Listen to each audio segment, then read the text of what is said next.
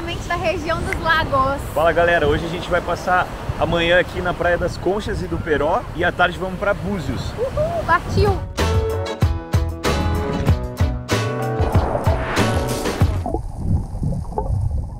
A gente tá aqui na Praia das Conchas agora, ela fica em Cabo Frio e ela junta com a do Peró, a gente tá caminhando pra lá em direção Fica lá na ponta, lá, ó. Deixa eu ver se consigo mirar lá. Mas, cara, a Praia das Conchas, antigamente, eu morei 17 anos em Cabo Frio, né? Então, antigamente, ela era repleta de conchas. E as conchas, eu não sei o que aconteceu. Se eles tiraram, se as pessoas. A tua mãe, a mãe da Luísa falou que roubaram. É, se roubaram. Mas, ó, cara, pra lá tem um monte de infraestrutura é. de quiosques e tal, restaurantes lá. Os pais da Luísa estão até parados lá. É. E a entrada, se você não é cabo friense, se o seu carro não é de Cabo Frio, é 30 reais o estacionamento. E se você é cabo friense, é de graça. Então a gente não pagou, foi 0,800 pra gente. Enfim, a gente tá nessa caminhada. Eu tenho uma lembrança de que o mar aqui era menos bonito do que ele tá agora. Eu tô achando ele bem bonito, bem claro. Tá bem azul a água. E, e ali, no, na, na divisa, a gente vai chegar mais pra frente, é onde foi gravado algumas cenas da Casa das Sete Mulheres.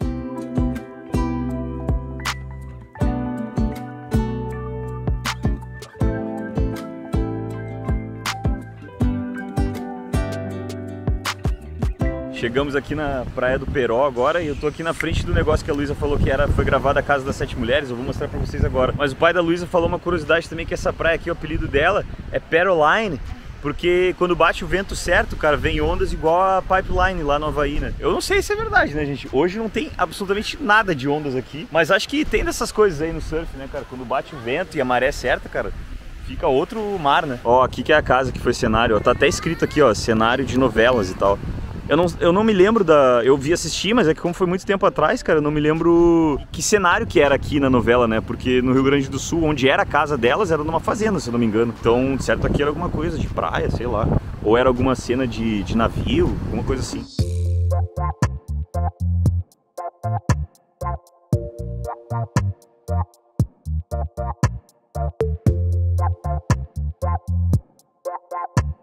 Gente, a água tá maravilhosa, cara. Eu acho que isso da gente andar assim pela praia, praia longa, areia branquinha, assim, é coisa muito nossa, cara. Tem pelo Brasil inteiro, na verdade, né? Que a Luísa ficava com esse barriso falando que aqui é as praias mais bonitas do mundo. E são. Mas, cara, eu tô acostumado com praia muito bonita. Eu ainda tem que levar ela lá em Santa Catarina, que é muito legal também. E é super natureza, né, cara? Se você ver, tipo, tem os quiosques lá, só que aqui não tem nada, cara. É tipo, só areia mesmo. Mas mar, aqui né? também é naturezão, né? Que nem. É, é... é natural, as, as, estradas de chão pra você chegar, depois a gente mostra um pouco é. do caminho. Tá rolando um dilema. O que, que foi gravado naquele lugar?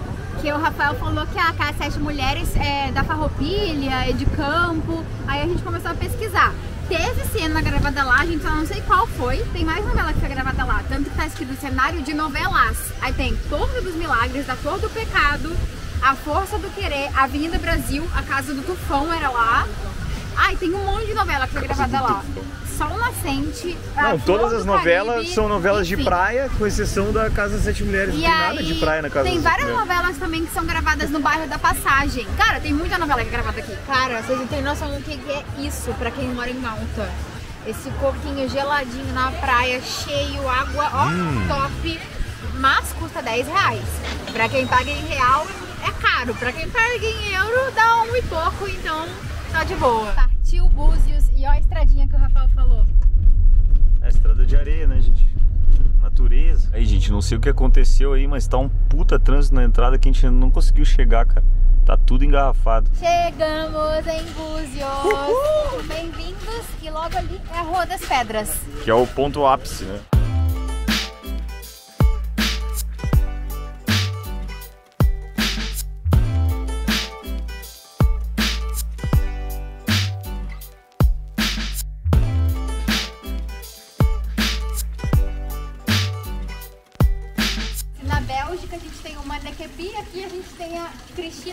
Mas ela não tá fazendo xixi, ela tá ela tomando tá água. Xixi, ela tá bebendo água, pelo menos. Aí galera, paramos aqui num lugar que chama. Como é que é? Maria Maria Café. E olha só que bonito, cara. Lembra lá os que a gente toma na Europa lá. A gente surpreendeu com a qualidade do café. Mas, para quem tá pagando em real, não é tão barato. É 14, 15 reais. É. Mas quem tá pagando em euro, 2,50 por aí, Tá o preço. Galera, esse lugar é um paraíso, cara. Olha só o que eu tô olhando agora.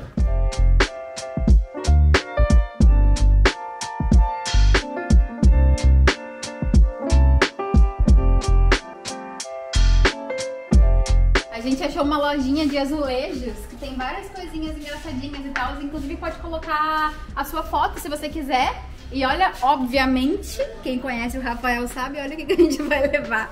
De Que Chaves. da hora, mano. Misturaram Beatles com Chaves. E o preço é 35 reais. Eu achei um preço bom. É, É, é- é bem legal pra dar de presente, na É verdade. uma né? recordação legal, diferente.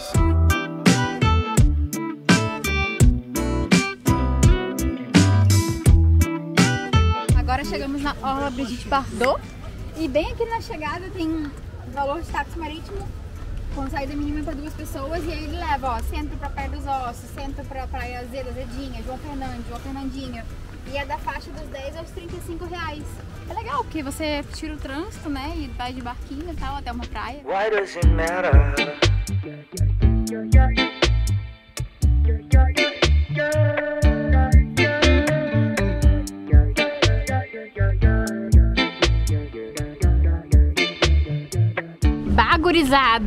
É a hora. Paramos pra almoçar aqui, ó. Na verdade, almoçar já tá quase na hora do pôr do sol. Paramos de frente pro pôr do sol no início ali daquele.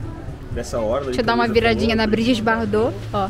Tiramos fotos aí, ficou mais legal as fotos. E pegamos esse franguinho aqui, cara. Um frango com arroz, eh, vinagrete de farofa.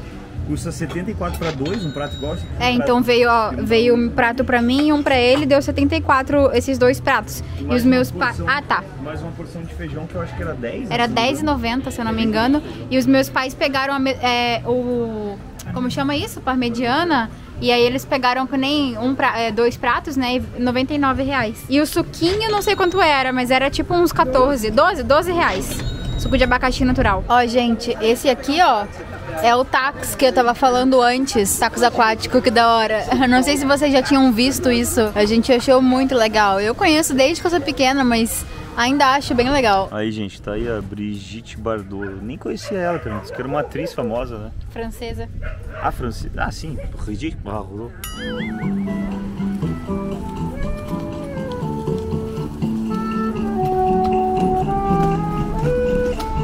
Gente, esse negócio de Rua das Pedras, eu tava achando que era uma rua, mas não é uma rua. É um bairro que se chama Não, Rua não das um Pedras. bairro, mas são. Tem tipo duas ruas assim.